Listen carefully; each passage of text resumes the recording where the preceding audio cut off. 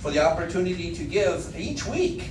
And as a church, we want to be involved in uh, worldwide evangelism, wherever that may uh, take us. And we thank you that we have ministries that our church is supporting and, and help the, uh, all of us to think about what we can do this year to give uh, towards uh, the pledging of our church into the Great Commission Fund over and beyond the regular giving we give to the church. And uh, so we're grateful for the blessings you give to us, and we want to honor you in that way. In Jesus' name, amen. amen. And uh, as a pastor, and uh, I think as uh, uh, Victor has mentioned, we want to thank you for your giving last year. And so continue. Some of you have, have, have been very faithful in your giving, and some of you that haven't started, um, you can start uh, as soon as you're, you're able to. So the Lord bless you. Uh, today, uh, Brother Steve uh, Hunter will be bringing the word, and so I think uh, he's got his uh, video ready. Uh, so let's give Steve a hand. Come on up, brother.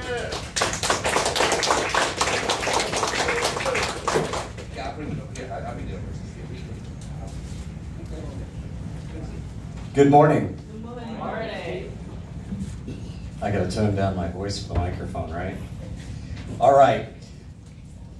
This last week, we, uh, we had a very special event in Plant City, and several of us went there, and it was incredible. There was, uh, there was a, a, a, lot of people that came. Uh, someone said there was like 10,000, but I think it was 5,000. but, it, you know, like any good fish story, right? It just starts multiplying because it was so awesome.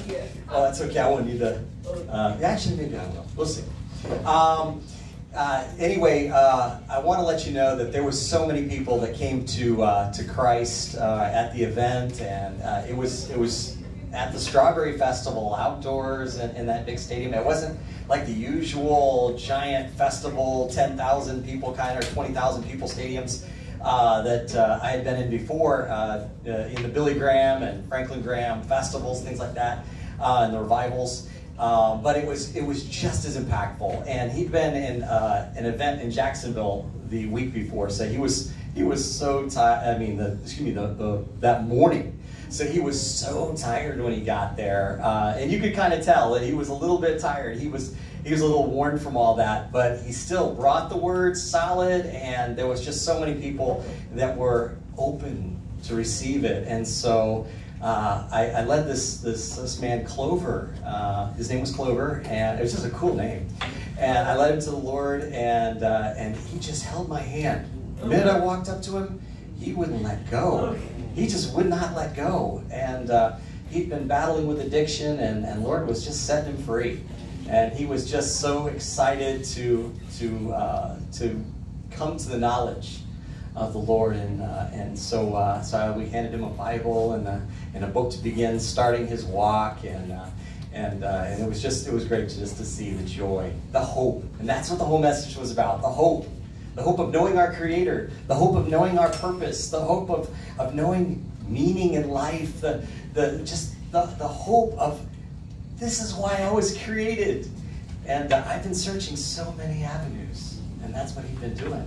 And he'd been searching so many avenues, and now he was found, as the scriptures say. So that was that was really exciting. So I was I was thinking about that um, uh, as I was I was creating the sermon for today, and I was really thinking about as we're beginning a new year, as we're sort of reevaluating our own lives, as we're making our resolutions. Anybody here make resolutions? Oh, come on, please, somebody say you like review and, and like retune, right? Yeah. Um, I, I, know this, uh, this, this one fellow, uh, Dr. Serrano, he does it four times a year with his wife. They take a day off, they just go away, they, they, they, they just, just completely unplug, and it's all for kind of retune and re review. And, uh, and it's just, it's really good. I'm going to share it with you guys today so that uh, hopefully you guys will benefit from it and be able to apply it to your life. Uh, because it's really important that, uh, that you do review and you take a quick look at it. Um, and uh, we'll, we'll, go into some of those concepts. Let me bring my, my papers up here. All right, if you have your Bibles with you, turn to 1 Corinthians chapter 13. Many of you are familiar with this chapter on love. We're going to focus on a couple of verses from this that you may not have focused on before, a little different than, than uh, you may have done before.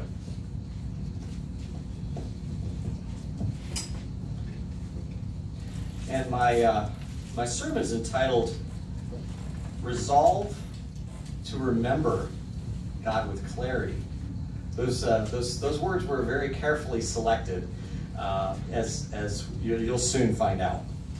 All right, let's, uh, would, uh, would Jacob, Jacob, would you read that, uh, that for us? Uh, it's, you have just a, a, wonderful reading voice. he does, he really does. He could, he could definitely narrate a radio show. Um, 1 Corinthians chapter 13, and we're just doing verses 1 through 13. We're going to end up focusing on the 12th and 13th verse, but I'd like you to, to read it in its, it, its full context, and then we're going to focus on a little, a couple verses towards the end. Chapter 13? Chapter 13. 1 through 13? Okay. Though I speak with the tongue of men and of angels, but have not love, I have become as sounding brass or a clanging cymbal. And though I have the gift of prophecy and understand all mysteries and all knowledge, and though I have all faith, so that I can remove mountains, but have not love, I am nothing. And though I bestow all my goods to feed the poor, and though I give my body to be burned, but have not love, it profits me nothing. Love suffers long and is kind. Love does not envy. Love does not parade itself, is not puffed up, does not behave rudely, does not seek its own, does not provoke, thinks no evil, does not rejoice in iniquity, but rejoices in truth, bears all things, believes all things, hopes all things, endures all things. Love never fails, but when there are prophecies, they will fail. Whether they are prophecies, whether there are tongues, they will cease. Whether there is knowledge, it will vanish away. For we know in part, we prophesy in part. But when that which is perfect has come, then that which is part, which is in part, will be done away. When I was a child, I spoke as a child. I understood as a child. I thought as a child. But when I became a man, I put away childish things. For now we see in a mirror dimly, but then face to face. Now I know in part, but then I shall know just as I also am known. And now abide faith, hope, love, these three, but the greatest of these is love. All right, so we see that uh, that, that, that when the perfect comes, the imperfect disappears. And we really live in a very bit of an imperfect world here. Um, and we lack sometimes some clarity because of all the, the rush. Our society is in such a rush to get here, to get there. We're often so rude and, and dismissive of other people and, and just ignore them because we're in such a rush. Um, and we also do that to God. Don't think it's just other people. We also do that to God. So this, this verse talks about finding that clarity. That clarity, of course, that will be cleared up. That'll be cleared up as all things are restored. It'll be cleared up as we go to heaven. It'll be cleared up as we, we go into the eternal. But but for now, it's it's a little unclear at times. Um, and it also speaks of maturity. Uh, Christ wants us not to get a little spoonful of, uh, of, the Bible each week, spoon fed and then starving all week long. Um, and, and then wonder why we're anxious, wonder why we're confused and having a hard time making the right decisions. Uh, well, we're not operating in that all week long, right? So, so we need to, to work towards maturity so that we understand God's will for our lives. If we understand God's will, we can better please Him. That's awesome. I, I, I seek to please God. I want, I want His favor. He's an incredible God. I want to be on His side. It doesn't work so well on the other side. Trust me. The, the Bible talks very clearly about that. You don't want to be on the other side. And, um, it, it, and of course, like I mentioned earlier, it does speak of how clear things will be one day. Now, um, this is this is a, a, copy of the verse uh, in the Message Bible. And I thought this was a great way to take the, the 12th and 13th verse and make them crystal clear. The Message Bible is really good at doing that. It just goes right to the meaning. And so, so it says right here in, in this one, by the way, I wasn't a fan, fan, of the Message Bible, like many people probably in this congregation might not be. You know, oh, Message Bible, I'm NIV, or I'm, I'm ESV, or I'm King James, or but but they all all the all the translations have a real specific purpose. This one is just get right to it, clear, everyday conversation, so you really get the point. All right. So this says we don't we don't yet see things clearly. We're squinting in a fog, peering through a mist love the symbolism here, right? But it, it won't be long before the weather clears and the sun shines bright. We'll see it all, then see it all as clearly as God sees us, knowing Him directly, just as He knows us. But for right now, and, and that's you and I sitting right here, right? Until that completeness, we have three things to do to lead us toward that consummation trust steadily in God. That's faith, right? That's faith. Hope, unswervingly, right? We do not weave back and forth and, and waver on this. It's confident assurance, right? We, it's not hopey wishy. This is confident assurance in what we can count on. And then love. Love extravagantly, right? That's, that's really our hope that somebody can say, that was a life well lived right there. That person was a faithful witness. You could tell by what? Their love. Their love for God and love for others. How can you say you love God and you don't love others? That's scripture right there, right? So we need to first start loving one another so that we can truly love the one we have not yet seen. Right? So, sometimes, let's go to this next slide here. Sometimes our eyesight and hearing, they slowly fade. They faded here. As you guys have found me fumbling for my glasses at times, they, they, the, my eyesight, I could probably do microcircuitry until about, you know, age 45. And uh, then all of a sudden, I'm like, why can't I see the words on the page? It went from like super clarity in a distance, super clarity up front to I need glasses, right? Fortunately, I just need them for reading at this point, but I, I expect that'll probably change too. Um, it's a it's a what we call a slow fade. Uh, a slow fade as you begin to go from normal eyesight, and if you notice on the far sighted here and the near nearsighted, the focus is off, right? The light, same light's coming in, same images there, the same situations, but we're not seeing them the same way. We're, we're either too far this way or too far that way, and we've lost perspective, right? Most of us start out pretty okay, but then everything suddenly one day changes, and, uh, and really, it's been changing all along, hasn't it?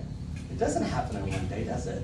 It's been happening slowly, but now we're so far off target, just like the light hitting the back of the eye there, that, that suddenly we, we have to do something about it now. We have to do something because now it doesn't work anymore. And, and that's where a lot of people are with changing things in their lives. They're going to remain right in the trouble that they're in. They're going to remain right in either the complacency, apathy, or, or issues, addictions, you name it. They're going to remain in those areas until the pain gets too much making the change is going to be easier than remaining where they were. Then they finally change. They change through pain. Um, I, I, hope that you guys are, are willing to make the change before pain comes, but usually it's just sort of our human nature not to. We, we only change when we have to, so we sort of glide along. We're sort of gliding along in what I would define as a fog. And so let's see this next slide here. Has anybody here boated in a deep fog before? I've, I've boated along in a deep fog that was so thick that I couldn't see Sally sitting in front of me. And, and so when you're in a fog like that, like these guys, are we going the right direction? They better be following a compass that's accurate or they could be way off target. Do you know one degree off in the fog like that? And you could, over time, that one little degree begins to expand because you're keeping it that one degree off and off and off, and next thing you know, you miss that island by a mile. You're nowhere close. and now you're in the middle of the sea, and you don't know if the island was on the right or the left. That's scary, right? That's very scary. Um, and, and so, and, and anything else can sneak up on you, the bigger ships or whatever, and, and, and all of a sudden you're in trouble. And, and that's kind of where we often are. Um, you know, we're, we're just finally snapped out of that fog. We've been going a completely wrong direction and never even realized it. And sometimes that's because of our habits. We've just not cultivated the right habits to have the growth in our life. Uh, and I'll give you a great example. High school students. They're like, oh, I'm, so, I'm, i just do not want to read because all I spend my time doing is reading, right? I'm reading all this stuff for school. The last thing I want to do when I get out of school is read again, right? Um, I was that guy at one point. Now I just love, I just read when I have to, I read when I don't have to. Um, but I've developed disciplines, and those disciplines have created the love. And, and that's kind of weird like that. But uh, disciplines are very, very important, and there's disciplines in the Christian walk as well, so we don't glide along until there's a deficit. And then you're way behind. I'll give you a, another example of that. Uh, I, I, run into a lot of, of senior citizens who you're, you're like, this guy's been in the church forever, he's an elder, he's, he's, he's, he's always carrying his Bible, but he's not been opening it.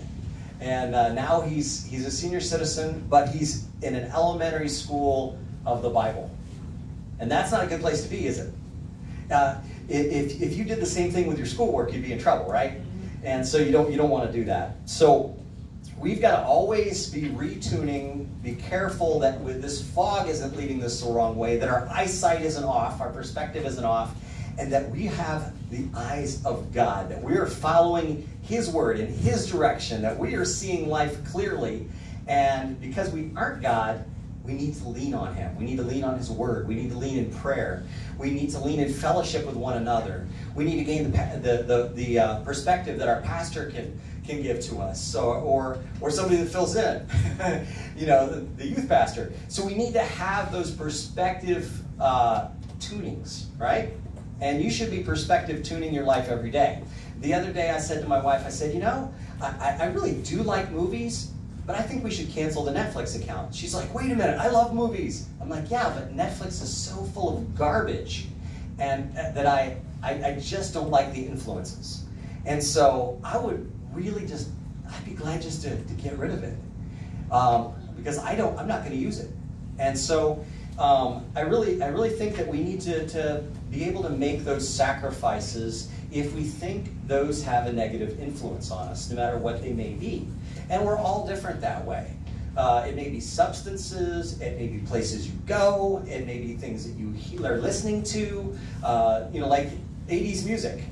My wife loves 80s music. I mean, we grew up in the 80s, right? But as we've moved along, further along, there's less and less the 80s music that we like because we begin to actually hear the lyrics behind the 80s music. And we begin to realize, you know, that's a, it's a catchy little tune, but it's leading down a wrong road. And I'm listening to that. I'm absorbing that. I'm singing along with that. That's not good. And so there's a lot of little tunings that we need to do in our life. Now, I'm going to give you a, great example from a very popular group that my, my daughter called Really Old School. Um, it's called Casting Crowns. Now, to all of us, that's not old school, but to my daughter, she's like, Casting Crowns. Um, so, but I think that you guys will really, really enjoy the lyrics on this because they talk about a slow infidelity. A slow infidelity, and that's really what we're doing with God. A slow infidelity towards God in some of our thoughts, some of our actions, some of our words. So let's take a look at this. The slow fade it says, Be careful, little eyes, what you see. It's the second glance that ties your hands as darkness pulls the strings. Be careful, little, little feet, where you go, for it's the little feet behind you that are sure to follow. And there's a lot of people that are following your witness. Uh, it's a slow fade when you give yourself away. It's a slow fade from black and white, turn to gray, just like the fog, right? And thoughts invade, choices are made, a price will be paid when you give yourself away. People never crumble in a day. It's a slow fade. It's a slow fade. And that's why every day we need to retune. Be careful, little, little ears, what you hear. When uh, flattering leads to compromises, that's a big problem. Little compromises make big compromises at time as you slide and glide away. The end is always near. Be careful, little lips, what you, what you say, for empty words and promises leave broken hearts astray. It's a slow fade when you give yourself away. It says it's a slow fade when black and white are turned to gray and thoughts invade, choices are made, a price will be paid when you give yourself away. People never crumble in a day. I'm glad that that's the chorus. It just keeps reminding you, right? It says the journey from your mind to your hands is shorter than you're thinking. Be careful if you think you stand, you just might be sinking. Could you imagine being in a sinking ship and just laying out, getting a tan? Completely oblivious? That's, that's our lives, right? It's a slow fade when you give yourself away. It's a slow fade when black and white are turned to gray and thoughts invade, choices are made, a price will be paid when you give yourself away. People never crumble in a day. Daddies never crumble in a day. Families never crumble in a day. Oh, be careful, little eyes, what you see. Oh, be careful, little eyes, what you see. For the Father up above is looking down in love. Oh, be careful, little eyes, what you see. And so we need to guard our eyes. We need to guard our ears. We need to guard our minds. That's your operating system. What are you filling it with? Are you bugging the operating system, right? And so uh, we have to be very, very careful uh, where our minds are going. And we need to think on the things above. Um, we, need to, we need to gain what's called acuity. Anybody familiar with the word acuity? Acuity is a sharpness or keenness of thought, of vision or hearing. Merriam-Webster defines it as a keenness of perception. Your perception becomes your reality, right? All right, so we want you to have a passion and a fire in your soul because you're focused on the right things, not a passion, a fire in your soul for the wrong things and you'll get a passion one way or the other, and uh, and that's that that's kind of scary to think about. All right, any person with an addiction can tell you about that. My friends, uh, I've lost. Uh, I've lost friends to suicide, and I've, I've had friends really um, dropping really hard to the bottom in addiction. So many that were very successful, very, very intelligent, very capable, very loving, good people who made the wrong choices slowly over time that went to really, really bad choices. And here's what all of them said I have no idea how I got from here to there.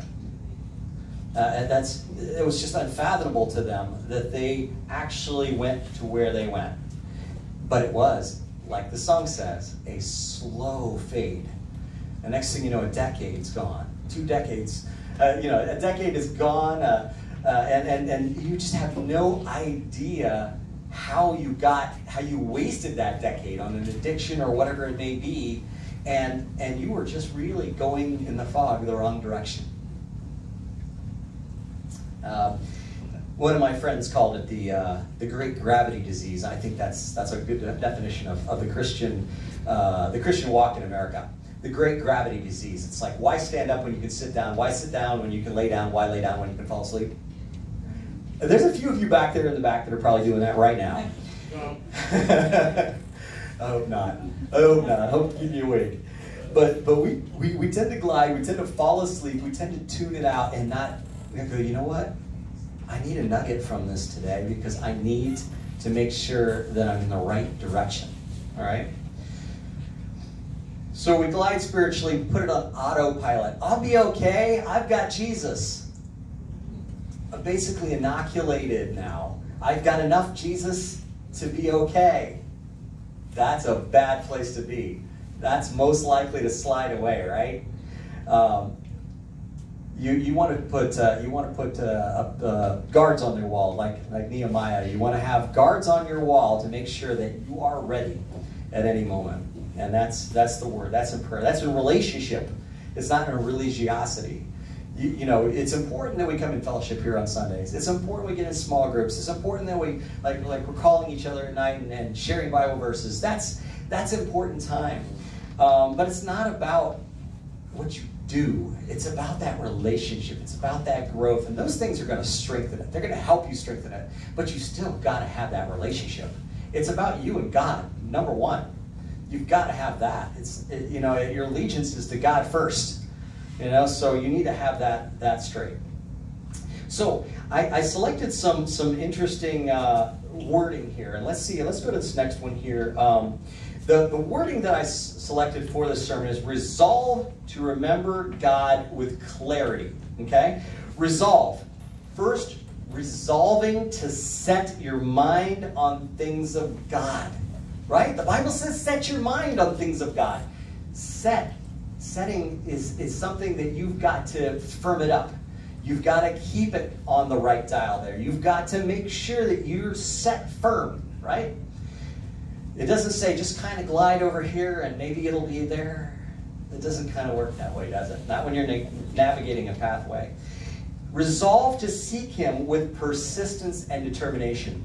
As a martial arts master, I learned persistence and determination. It was crucial in every single one of the arts that I mastered that I stuck through broken ribs, that I stuck through broken arms, you know, that I stuck through the high impact uh, battles, you know, with different people. I fought one guy who was seven foot eight. Uh, I couldn't even reach his body. Talk about persistence and determination to even stay in that battle, right?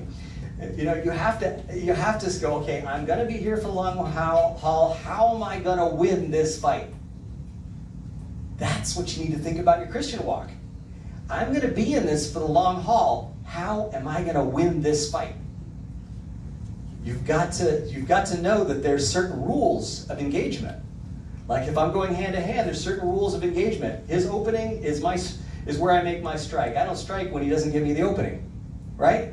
It's the same thing in the spiritual walk. I'm gonna I'm gonna go ahead and I am going to I'm gonna get in prayer because I know that's important. I'm gonna get in the Bible because I know that's important.